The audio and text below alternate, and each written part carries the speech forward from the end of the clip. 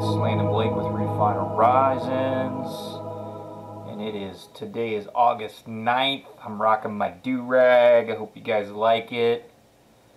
I'm rocking my do-rag because it's 7.02 p.m. It is currently 102 degrees here in the beautiful city of Stockton, California.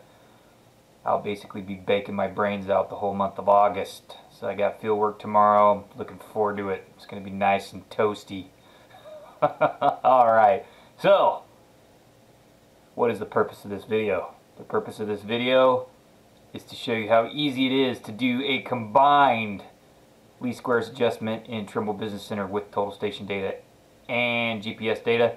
It's something I've been trying to figure out for a long time and I finally figured it out oh, last week. I feel really foolish because it's so simple and I've been beating my head on this. I don't know why there isn't a YouTube video that shows you how to do this. So here you go. Here's your YouTube video. So I've got a project here where we had an existing static network and then uh, we went out and we did some total station data. So we've got some cross ties to some of our points with our total station data.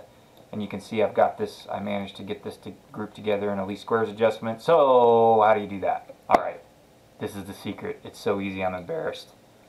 If you go into your project settings, under network adjustment, and let's see, edit your, see, is it standard settings? Oh man, hang on a second now.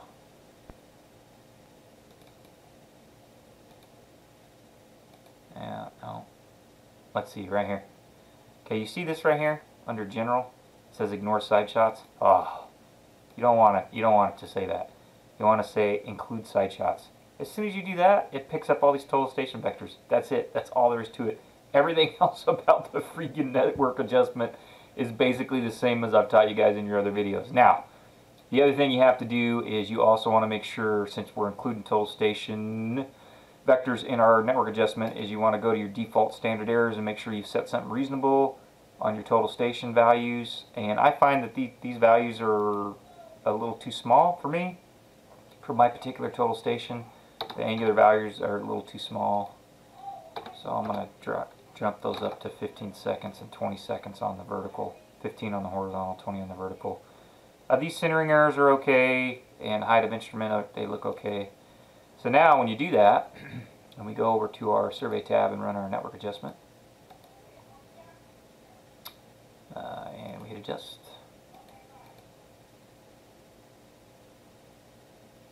Uh, you can see I passed my uh, chi-square test with a reference factor of 0.096, uh, which is pretty stinking good. And you can see it gives me error ellipses on my uh, total station, uh, the points that are coming from my total station vectors. So for example, if we if we hadn't got that to work, we wouldn't have any vector at all on 3, right? Because 3 only has total station vectors to it. And uh, you, you will also note that I've got some kind of crappy geometry here with my some of my total station vectors. So as we can expect, these aren't nice round ellipses, right? Um, 202 and 3 and uh, 1 and 2, which are only total station points and don't have great geometry. They have oblong ellipses, which is what we would expect, but of course everything tied with a GPS vector has a, has a nice round error ellipse. Um, I'm not super worried about that. I think I still got a good adjustment here and uh, I'm super stoked. We can just run our report, uh, but I'm super uh, super stoked that we got these total station vectors included.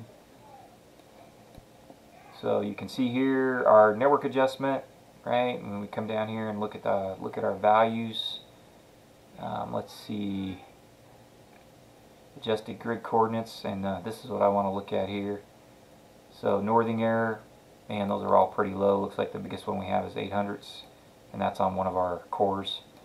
But everything on my site is uh, about, uh, looks like it's 300ths or less in the northing, 300ths and less in the easting, except for this .202 is a little larger in the easting. And uh, man, about, I don't know, 4 or 5 hundredths or less in the uh, elevation. Um, so uh, we got a really good good result here, good adjustment. Right, you can also look at your error ellipses get an idea. You know, this is this is nice and tight, man. Most of this stuff is four three hundredths or less, so good enough for the girls we're dancing with. So, uh, anyways, wanted to show you guys that. Uh, super easy. Again, let me show you where that toggle is. So you just come in here to network adjustment uh, under general and you want to make sure you check include side shots and uh, then you'll you'll pick up those total station vectors. Alright, this video is only, uh, I'm only about five minutes here. It's a little short, but I'm going to end it. What I want to do is, uh, I'm going to show you how to do this with a project from scratch that's got some combined uh, static and total station data. I've got a, another project, TBC project on a different job. I want to show you guys that, okay? So, uh, anyways, thanks for watching, and, and I'll walk through this uh, in a little more detail in, the, in my next video.